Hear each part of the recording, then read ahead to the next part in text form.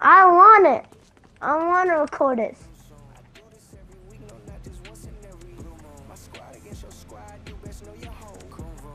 Oh, okay, Mike.